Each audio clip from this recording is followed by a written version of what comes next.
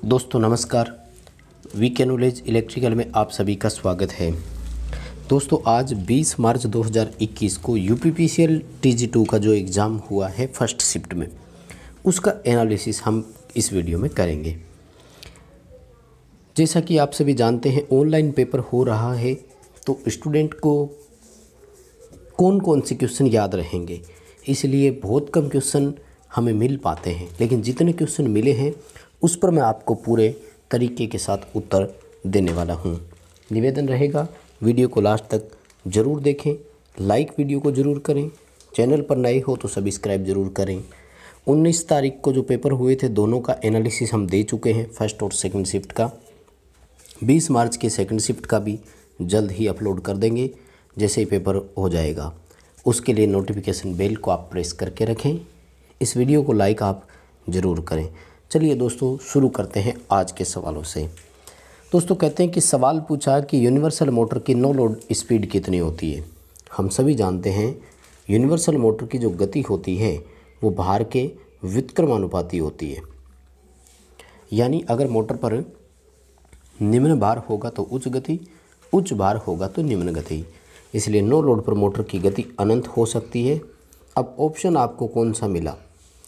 अगर very high का option था तो वेरी हाई की तरफ़ जाएँगे, अनंत का ऑप्शन है तो अनंत की ओर जाएँगे। अगर दोनों ऑप्शन मिलते हैं तो फिर अनंत की ओर ही जाएँ, क्योंकि शून्य भार तो फिर गति अनंत शून्य का। व्युत्क्रम अनुपाति या अपोजिट हम बात करें तो फिर अनंत ही होता है।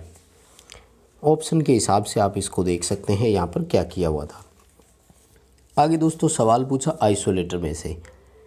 कहते हैं कि सवाल था कि एक आइसोलेटर का उपयोग कब नहीं करना चाहिए। तो हम जानते हैं, आइसोलेटर एक ऐसा, एक तरह का स्विच है, जिसको हम तब उपयोग में लेते हैं जब परिपथ में सप्लाई नहीं हो, या फिर यूँ कहें कि लोड नहीं हो, लाइन ऊर्जित नहीं हो भार बंद हो चुका हो, परिपथ से आइसोलेट हो चुका हो, उसके बाद ही काम में लेते हैं। हमेशा नो लोड पे ऑपरेट होता है। यानी इसको तब लेंगे जब लाइन में धारा प्रवाहित नहीं हो या फिर भार संयोजित तो नहीं हो। ठीक है? तब अपन काम में लेंगे। अब अपन से ये पूछा गया कि कब उपयोग नहीं करना चाहिए तो उस समय नहीं करना चाहिए जब लाइन में धारा चल रही हो या फिर लाइन पर भार संयोजित हो तब आइसोलेटर को ऑपरेट नहीं करना चाहिए। ठीक है? आगे कहते हैं, सवाल पूछा कि सिंक्रोन्स मोटर में लोड वहन करने के अलावा और हम उससे क्या काम ले सकते हैं? तो सिंक्रोनस मोटर जो है, ये पावर फैक्टर इम्प्रूवमेंट के भी काम में आती है। यानी हम इससे पावर फैक्टर सुधारने के लिए भी यूज़ कर सकते हैं। इसकी एक्साइटेशन को बदल करके, जब ओवर एक्साइट करके चलाते हैं तो ये लीडिंग पावर फैक्टर पर चलती है तो हम उसको आराम से चला सकते हैं। आगे दोस्तों, सवाल पूछा कि फेराडे के बाएँ हाथ नियम, अब ये फेराडे नहीं था, लिखने वाले से गलती हो गई। स्टूडेंट ने जैसा लिखा, वैसा ही हमने कॉपी कर लिया। फ्लेमिंग था। इन फ्लेमिंग के जो बायां हाथ, यानी लेफ़्ट हैंड रूल में अंगूठा और तर्जनी जो होती है, तर्जनी पहली उंगली को ही बोलते हैं फोर फिंगर को ही बोलते हैं। तो अंगूठा जो है वो मोटर की डायरेक्शन ऑफ़ रोटेशन को दर्शाता है और पहली उंगली जो है वो फ़ील्ड फ्लक्स की दिशा को दर्शाती है। जो मिडल फिंगर है, वो आर्मेचर धारा की दिशा को संकेत करती है। इस ऑप्शन के साथ आपको जाना था। आगे दोस्तों कहते हैं कि एक सवाल पूछा कि कौन सी बैटरी मेमोरी संवेदी बैटरी भी कहलाती है? यानी मेमोरी संवेदी बैटरी तो सवाल पूछने का तरीका समझ में नहीं आया बट इसका ऑप्शन जो है वो लिथियम आयन बैटरी होता है। लिथियम आयन ऑप्शन की ओर आपको जाना था, जब ऑप्शन दिया हुआ था, क्योंकि कहते हैं कि ये मेमोरी बैटरी जो है, ये सबसे ज़्यादा सेंसिटिव बैटरी मानते हैं। मेमोरी संवेदी तो नहीं है टेम्परेचर संवेदनशील मानी जाती है इस बैटरी को। ताप के प्रति जल्दी फूल जाती है अगर टेम्परेचर प्रॉपर इसका मेंटेन नहीं रहता है तो। आगे दोस्तों सवाल पूछा, परिपथ में अतिरिक्त धारा से बचाव कौन करेगा? ऑप्शन था भाई, रिले, आइसोलेटर। तो देखो, अब आइसोलेटर तो नो लोड पर काम में लेते हैं। अब रिले, हालाँकि ओवर करंट रिले आती ज़रूर है, जो ओवर करंट से हमें प्रोटेक्शन दे सके, लेकिन अब प्रॉपर नहीं लिखा तो अब थर्मल ओवरलोड रिले है तो फिर वो ओवरलोड से बचाव करती है, इसलिए फिर फ्यूज ऑप्शन बेटर रहेगा। फ्यूज रिले, आइसोलेटर ऑप्शन दिया है तो फिर फ्यूज की तरफ़ ही जाएँगे। आगे कहते हैं, सवाल पूछा, अल्टरनेटर में लेगिंग पावर फैक्टर पर आर्मेचर रिएक्शन कैसा होगा? अल्टरनेटर में आर्मेचर प्रतिक्रिया जो होती है, वो भार के पावर फैक्टर पर ही निर्भर करती है। पावर फैक्टर तीन तरह का, लैगिंग, लीडिंग और यूनिटी। जब लैगिंग हो तो डी मैग्नेटाइजिंग यानी वी चुमकन बोलते हैं। लीडिंग हो तो इसको अपन बोलते हैं मैग्नेटाइजिंग, यानी चुमकन होना। और इकाई पावर फैक्टर हो तो इसको बोलते हैं क्रॉस मैग्नेट, यानी चुंबकीय विक्षोभ होना।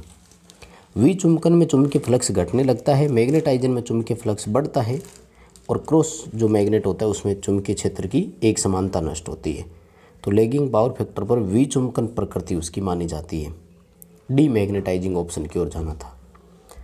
आगे कहते हैं दोस्तों, एक सवाल पूछा कि अल्टरनेटर में एक्साइटेशन परिवर्तन से कौन नहीं बदलता।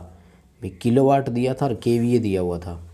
तो देखो एक्साइटेशन से वास्तविक पावर जो होती है ना रियल पावर वो तो बदलती है। सिंक्रोनाइज होने के बाद एक्साइटेशन बदलने से वास्तव में उसकी शक्ति ही बदलती है। वो रियल पावर वाली जो मेगावाट किलोवाट में जो जनरेट करता है ना, वो केवीए नहीं बदलेगा। ये आभासी शक्ति है अपरेंट पावर है। केवीए में कोई परिवर्तन नहीं आएगा। आपको केवीए ऑप्शन के साथ जाना था इसमें। के वी आर जो है ना, वो भी चेंज होती है, ध्यान रखना। किलो वाट और के वी ए आर जो रिएक्टिव पावर है, ये दोनों चेंज होती है। के वी नहीं होता। आगे दोस्तों, सवाल पूछा कि यदि सीरीज़ मोटर में आर्मेचर धारा को 10 एम्पियर से 14 एम्पियर करते हैं तो टॉर्क कितने गुना हो जाएगा? अब भाई, ये डिपेंड करेगा ऑप्शन पर। यदि ऑप्शन पॉइंटों में था तो 1.96 हो जाएगा। अगर वर्दी पूछी तो छियानवे प्रतिशत की वर्दी हो जाएगी। वैसे मान में पूछी तो लगभग दो गुना वर्दी हो जाएगी। मतलब दो गुना हो जाएगा। पहले सौ न्यूटन मीटर था तो अब लगभग दो सौ न्यूटन मीटर हो जाएगा। कैसे आया मैं बताता हूँ। ऐसा क्वेश्चन जब भी आए ना, सीधा तरीका है इसका। जो करंट पहले दी हुई थी, उसका वर्ग कर दो। तो दस का वर्ग कितना आया? सौ। जो करंट अब दी है, उसका वर्ग कर दो। चौदह का कितना आता है? One nine six. दोनों का डिफरेंस कर लो भाई। कितना आया? Ninety six.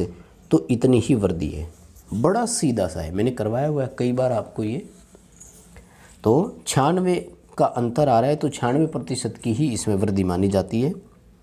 और पॉइंटों में दिया है तो 1.96 हो गया। क्यों? पहले वन था तो अब 1.96 हो गया। प्रतिशत के आधार पर छियानवे माना जाएगा। आगे दोस्तों कहते हैं कि सवाल पूछा, डीसी जनरेटर की दक्षता अधिकतम कब होगी? तो जब वेरिएबल लॉस कांस्टेंट लॉस के बराबर हो ना, परिवर्तित हानि स्थिर हानि के बराबर हो तब डीसी जनरेटर की एफिशिएंसी मैक्सिमम होती है। आगे दोस्तों सवाल पूछा कि ए सी एस आर का पूरा नाम क्या होता है? बहुत साधारण सा था भाई। एल्यूमिनियम कंडक्टर, स्टील रेनफोर्स्ड, इसका पूरा नाम होता है। यानी एल्यूमिनियम की कुछ ट्विस्टेड तारें होती है, जो चालक का काम करती है। एक स्टील का तार होता है जो रेनफोर्स यानी यांत्रिक मजबूती प्रदान करने के लिए होता है। आगे दोस्तों सवाल पूछा, डीसी मोटर में स्पीड को कम कैसे कर सकते हैं? डीसी मोटर में अब ये तो बताया नहीं कि कौन सी मोटर है। यदि संट मोटर मानकर चलें तो दो तरह की गति नियंत्रित हम कर सकते हैं। सामान्य मान से कम, सामान्य मान से अधिक। जब हमें सामान्य मान से कम गति प्राप्त करनी हो तो आर्मेचर कंट्रोल विधि का उपयोग करते हैं। सामान्य से अधिक के लिए फ़ील्ड कंट्रोल विधि का उपयोग करते हैं। दोस्तों, आज की फ़र्स्ट शिफ्ट में कहते हैं कि न्यूमेरिकल बहुत कम आए थे, ज़्यादा न्यूमेरिकल नहीं आए। इसलिए ज़्यादा घबराने की ज़रूरत नहीं है। आए ज़रूर थे, लेकिन कम आए थे। वी वी वी एफ़ का उपयोग पूछा तो पूरा नाम होता है वेरिएबल वोल्टेज वेरिएबल फ्रीक्वेंसी और ये एसी ड्राइव में काम में आता है भाई। ड्राइव होता है स्पीड कंट्रोल करने के लिए। तो इंडक्शन मोटर में टॉर्क को कांस्टेंट रखते हुए जब हम उसकी गति को नियंत्रित करना चाहते हैं ना तो वो उसका वी वी एफ़ का उपयोग करते हैं। वी डैश एफ़ फ्रिक्वेंसी यानी वोल्टेज फ्रिक्वेंसी कंट्रोल इस विधि का नाम होता है। आगे दोस्तों कहते हैं, सवाल पूछा ट्रांसफार्मर की कोर किस धातु की है? तो ये तो बड़ा आसान सा है, उम्मीद करता हूँ सभी का सही होगा। सिलिकॉन स्टील होती है। ब्रिज रेक्टिफायर में डायोड पूछे थे। नो डाउट किसी को कोई इसमें हो डाउट चार रेक्टिफायर चार डायोड काम में लेते हैं। और टोंग टेस्टर का सवाल पूछा कि उपयोग क्या है? तो हम सब जानते हैं, टोंग टेस्टर बिना रुकावट के धारा मापन का कार्य करता है। लेकिन ध्यान रखना केवल एसी में ही नमापन करता है। यानी एसी में बिना रुकावट के धारा मापन करना डीसी में बिना रुकावट के धारा मापन करना, ऐसे दो ऑप्शन है तो फिर आपको एसी ऑप्शन की तरफ़ जाना था। और आगे दोस्तों कहते हैं कि सवाल पूछा स्टार में लाइन करंट पंद्रह एम्पियर है, बताइए डेल्टा में फ़ेज़ करंट कितनी है? देखो भाई, पहली बात तो ये ध्यान रखना कि स्टार की अपेक्षा डेल्टा में जो लाइन करंट है, वो तीन गुना अधिक होती है। सीधा सीधा पॉइंट ध्यान में रखना। तो स्टार में पंद्रह एम्पियर है तो डेल्टा में लाइन करंट कितनी आएगी? पैंतालीस एम्पियर।